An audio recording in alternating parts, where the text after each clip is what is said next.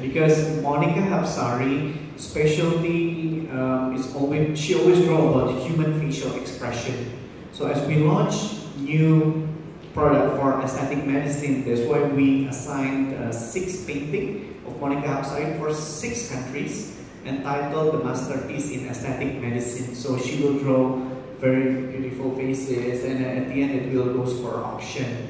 And the painting um, in Hong Kong and in Singapore in terms of value, maybe I will not disclose the total value, but uh, as we know, one surgery approximately required around $300 in average one to help one children.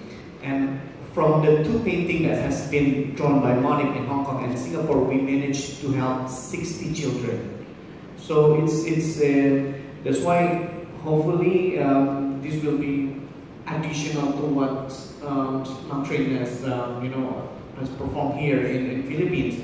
And that's why the idea when we launch a Relife product, we are sharing beauty and sharing happiness to also to the people who did it.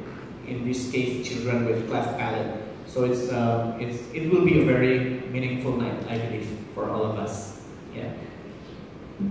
Okay. Sorry, allow me to also uh, revise my comment. Um, skin, uh, Happy Leaf is already in Philippines as we speak now. And have, sorry, Happy Leaf already in Philippines as we speak now. And Skinfeel will arrive in the next two weeks.